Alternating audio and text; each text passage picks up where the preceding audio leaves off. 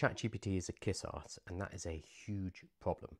So, if you have ever tried to use ChatGPT or any other AI to help you with life advice, whether it's personal or professional, you'll probably run into the issue where you realize that it's always agreeing with you. It's always saying, Yeah, great idea, go for it. It's sycophantic. It will always say that what you're doing is the best thing that you can do. And even if you ask it not to agree with you all the time, that doesn't really work because then it would just disagree with you all the time.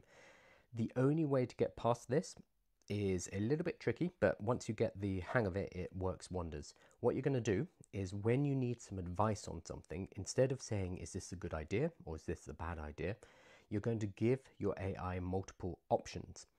So let's say you're making a decision and you have three different options, A, B, and C. You're going to outline each of these options and you're going to be careful not to use emotive language that's going to give AI a hint of which way you want to go. You're going to outline these three options and then say, which of these do you think is the best course of action? AI is much better at analyzing multiple courses of actions and then giving you an analysis of them than it is with the question, is this a good idea or is this a bad idea?